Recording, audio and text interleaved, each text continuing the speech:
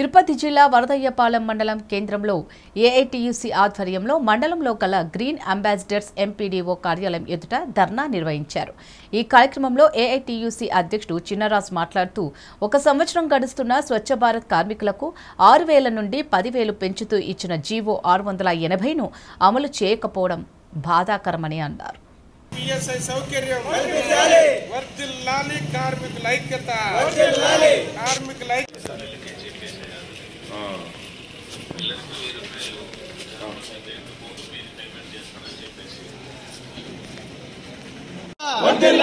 పెండింగ్లో ఉన్న జీతాలు పెండింగ్లో ఉన్న జీతాలు పెండింగ్లో ఉన్న జీతాలు గుర్తింపు కార్డులు ఐడి గుర్తింపు కార్డులు స్వచ్ఛ కార్మిక ఐక్యత